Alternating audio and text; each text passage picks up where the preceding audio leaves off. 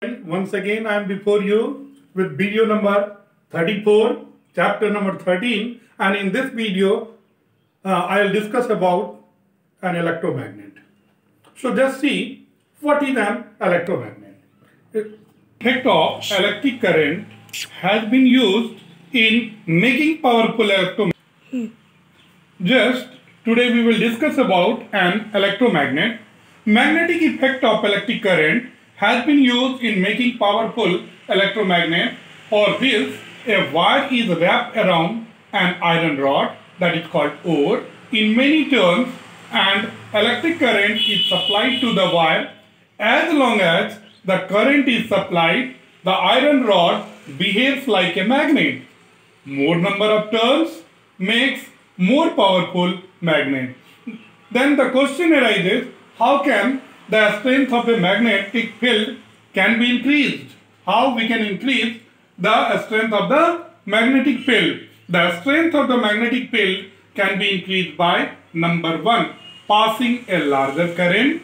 Number 2 increasing the turns of wire on the coil. And number 3 using a soft iron core. Using a soft iron core. Now the question arises what are the uses of electromagnet? Number 1 electromagnets are used in medicines.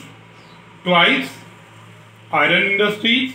Number 2 it is also used in electric bulb loudspeaker television telegraphs telephones audio and video tape recorders and players etc now what is an electric bell an electric bell is based on the magnetic effect of electric current. It consists of an iron core on which a wire is wounded as a coil.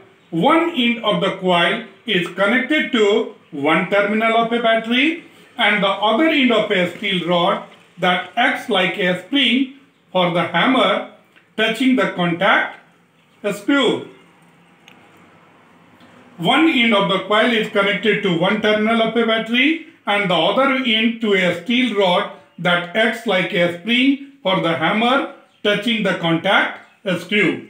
The other terminal of the battery is connected to the contact screw with a switch in the middle. Just, just see the diagram of an electric bell in which you can see that uh, a soft iron armature contact screw, hammer, gong, push button, switch from a battery DC supply and the soft arm uh, iron armature.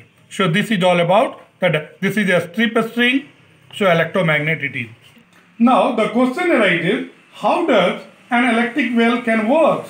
So we will discuss about now the different steps that took take place in the working of the electric bell. Number one, electric current flows through the coil when the switch is in on position and the iron core acts as an electromagnet. The iron core here attracts the hammer towards it. The hammer then hits the gong of the bell and produces a and produces a sound. The circuit breaks at the contact screw when the hammer moves towards the iron core. At this point, the iron core ceases to be an electromagnet. The hammer is pulled back to its original position due to the spring action of the steel rod and then touches the contact screw again to complete the circuit.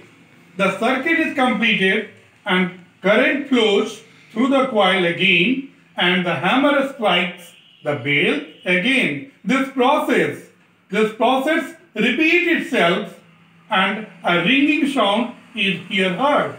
Since the hammer keeps hitting the bell until the switch is released. This is all about the working of the electric bell. Now some assignment question based upon video number 34. Question number 1. What is an electromagnet?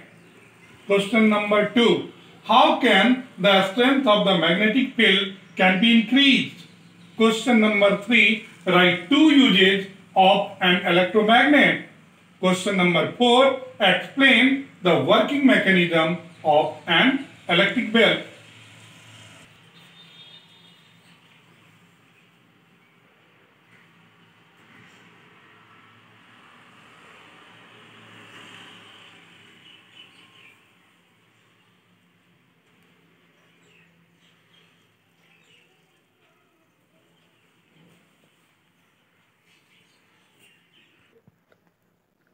So dear children, in this video number 34, uh, after watching, you will be aware about home and electromagnet, uses of an electromagnet and about electric, electric bell and these work upon home.